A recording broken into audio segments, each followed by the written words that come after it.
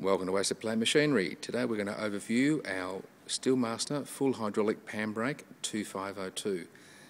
This heavy duty pan brake folder has hydraulic clamping and folding and it's 2.5 metres long by 2.2 mil mild steel capacity. We've spec this pan brake up with all the features of a full hydraulic 4 mil machine like foot pedal operation with stainless steel braided cabling. We've got front safety guards, hardened ground fingers, and as you can see here, we've got auto manual operations, and you can operate the up and down functions of the beam and also the folding beam there via the control console or by the foot pedal operation.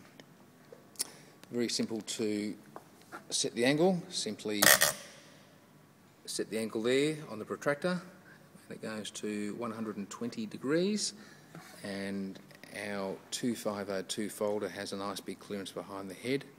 As you can see it's got a torsion bar bottom, torsion bar top and we'll walk behind the machine here and see what's behind here now.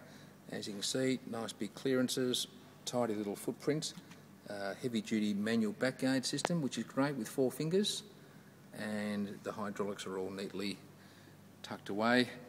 To adjust the beam, the front folding beam back and forth, simply loosen the Unbrako there and move the handle forward and that will actually move your folding beam back and forth on the actual bed itself which will allow you to get a tighter radius when you're doing different materials.